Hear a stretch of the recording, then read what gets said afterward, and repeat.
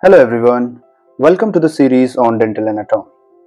In today's video, we will discuss about permanent maxillary central incisor, its chronology, dimensions and morphology.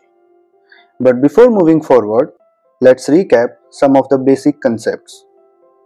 First, the term incisor is derived from Latin word incidere, which means to cut. Hence the name itself reflects the function of the tooth that is cutting of food. That brings us to our second point that is the function. Incisors are used for cutting the food and for this they have sharp chisel shaped edges. The third point is position. As the name permanent maxillary central incisor implies, the incisors are present in the maxilla or maxillary arch and are centrally placed. The incisors are present on either side of the midline at the center of the maxillary arch. Now coming to the chronology. The permanent maxillary central incisor erupts at the age of 7 to 8 years. It is the third permanent tooth to erupt after permanent first molar and lower central incisor. The first evidence of calcification is seen at 3 to 4 months. The crown formation is completed by the age of 4 to 5 years and the root is completed by 10 years. Next we will look into the dimensions of the tooth. The overall length of permanent maxillary central incisor is 23 to 24 mm of which the crown length is 10 to 11 mm and the root measures about 13 mm. The mesiodistal diameter of the crown is 8 to 9 mm at the maximum or crest of curvature and 7 mm at the cervix. The labiolingual diameter is 7 mm at the crest of curvature and is around 6 mm at the cervix. Now coming to the tooth morphology. First we will identify the surfaces, line angles and point angles and then we will study the tooth from five different aspects that is labial, lingual, mesial, distal and incisal aspects. The permanent maxillary central incisor have four surfaces and one incisal ridge.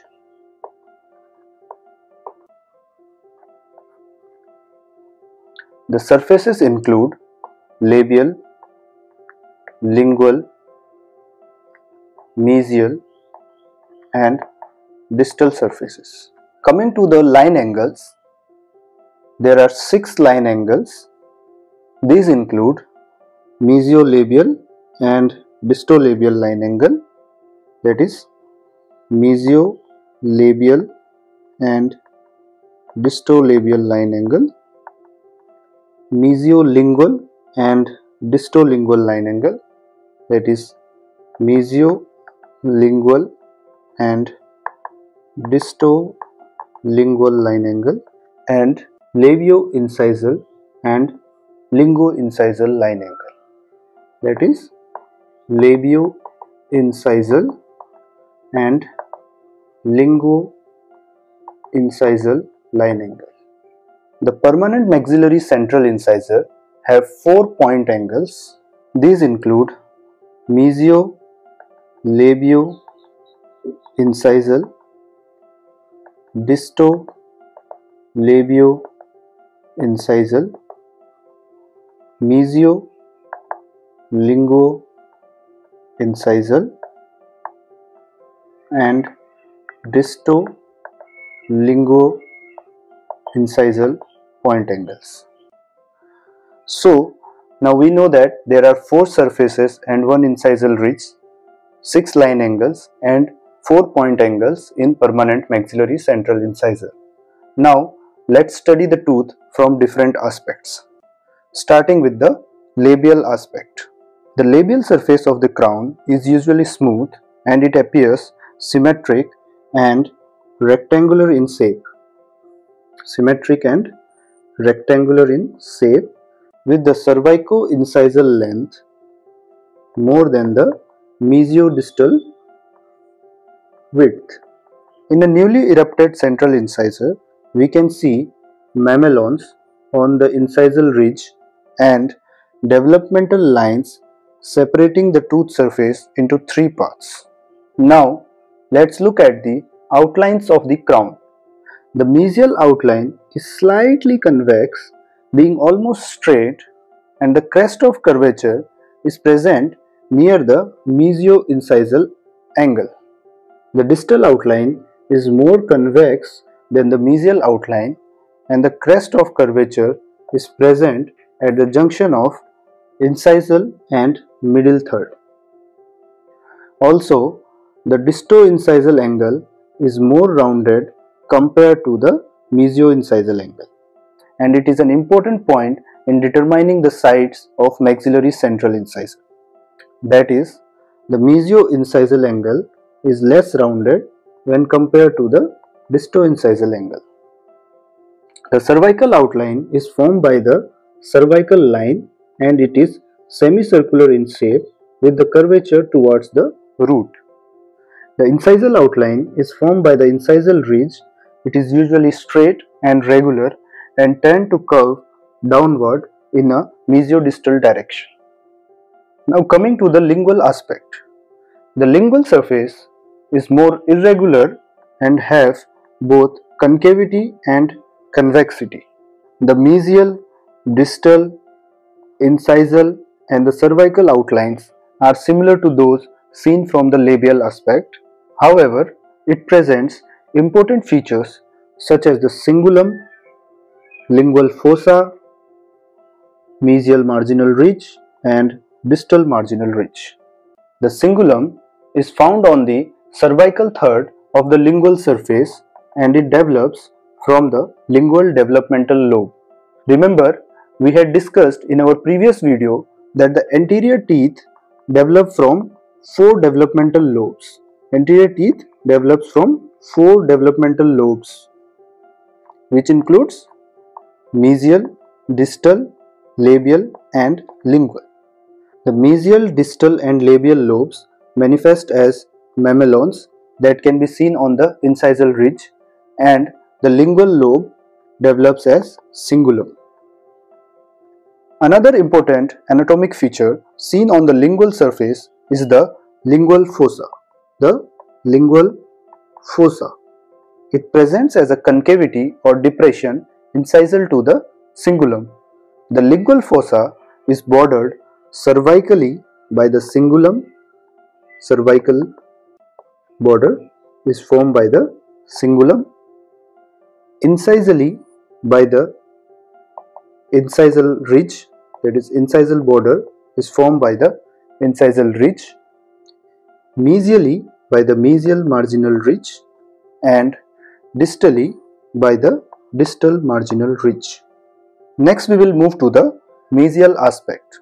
From the mesial side the crown appears wedge shaped or triangular in shape with the base at the cervix and apex towards the incisal ridge. An important feature to note here is that the incisal ridge is on a line with the center of the root. If we draw a line through the center of the tooth, it will bisect the apex of the root and the incisal ridge of the crown. This feature is characteristic of maxillary central and lateral incisor and can be seen from both mesial and distal aspects. Coming to the outlines of the crown, the labial outline is convex with maximum convexity at the cervical portion and slight convexity towards the incisal ridge. The lingual outline is also convex near the cervical portion at the cingulum followed by concavity at the marginal ridge and again slight convexity towards the incisal ridge. The cervical line outlining the cemento-enamel junction is curved in an incisal direction and this curvature is greater on the mesial surface than on the distal surface. On an average, the curvature on the mesial side is around 3.5 mm as compared to 2.5 mm seen on the distal side. The incisal outline is formed by the incisal ridge. It is rounded in newly erupted teeth but later on becomes flat due to occlusal wear. From the distal aspect, the crown is triangular or wedge shaped similar to that seen from the mesial aspect. Similarly, the labial outline of the crown is convex from the cervix to the incisal ridge with maximum curvature or crest of curvature present coronal to the cervical line. The lingual outline is convex at the cervical portion followed by concavity at the distal marginal ridge and slight convexity towards the incisal ridge. The cervical outline is curved in an incisal direction and the incisal outline formed by the incisal ridge is straight. As mentioned earlier, the curvature of the cervical line on the distal side is around 2.5 mm. One important point to note is that the central incisor appears somewhat thicker towards the incisal third. This is because the labial surface slopes distolingually to adapt to the dental arch curvature. So more of the surface is seen from the distal aspect creating an illusion of greater thickness. Finally, coming to the incisal aspect. From the incisal aspect, the crown covers the entire root and the tooth appears triangular in shape. The base of the triangle is towards the labial surface and the apex is towards the cingulum. The labial outline is relatively broad and flat in comparison to the lingual outline which is tapered towards the cingulum. The incisal ridge is clearly visible from the incisal aspect and it can be differentiated from the incisal edge.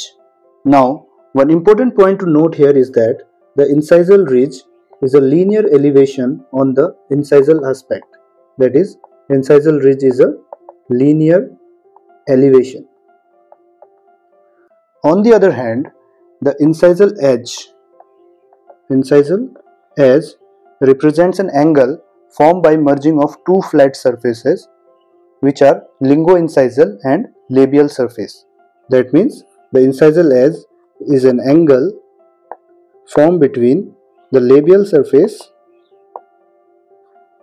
and linguoincisal surface.